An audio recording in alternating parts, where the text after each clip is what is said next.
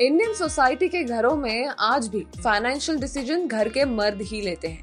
ऐसे में चेतना सिन्हा ने गाँव की महिलाओं के साथ मिलकर गाँव की महिलाओं के लिए माणदेशी महिला सरकारी बैंक की शुरुआत की, जहाँ उन्होंने महिलाओं को इन्वेस्टमेंट सेविंग बैंक में होने वाली तमाम चीज़ों की ट्रेनिंग दी।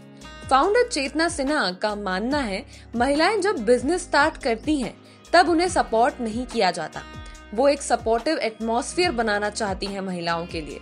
इसीलिए जो महिलाएँ अपने बिज़नेस के लिए लोन लेने आती हैं उन्हें मानदेशी फाउंडेशन के बी स्कूल में ट्रेनिंग दिलाई जाती है ताकि उनका बिज़नेस नई बुलंदियों को छू पाए।